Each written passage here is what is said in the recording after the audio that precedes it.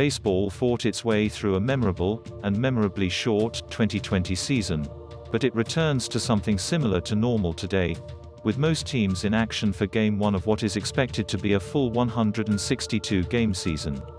The pandemic is far from over, stadiums are not yet back to full capacity, and all eyes will be on pitchers to see what effects a truncated workload last season will have on their long-term health.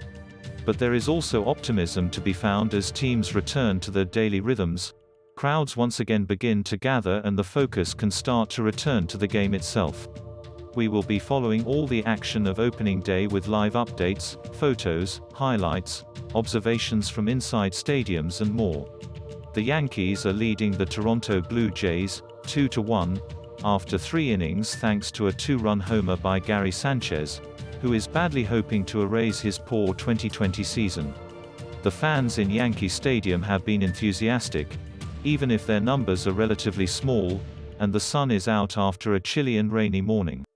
Miguel Cabrera of the Detroit Tigers set a personal goal of reaching 500 career home runs this season, and he is one-thirteenth of the way there after belting a 349-foot opposite field shot off Cleveland's Shane Bieber in the first inning of their game at Comerica Park. For some players, coaches, executives and fans, Thursday is just one of many opening days. But for one particular player, Lucas Luetge, this opening day is special even though it isn't his first. It's certainly his most memorable. And hearing the left-handed reliever talk about it before Thursday's game between the Yankees and Toronto Blue Jays served as a reminder of his appreciation.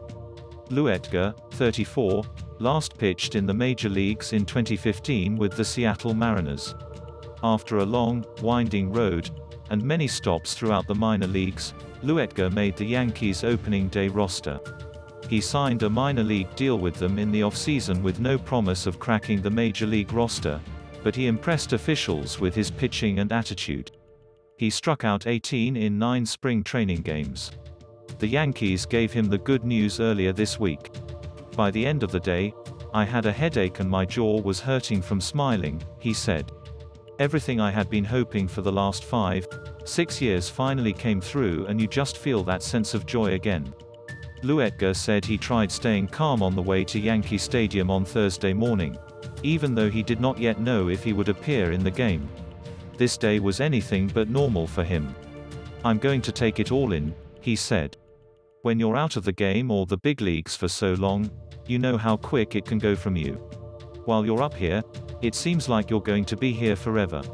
So I kind of have that appreciation to take it all in, look around the stadium, enjoy it, instead of trying to look cool and act like you don't care. We could all be a little more like Luetge.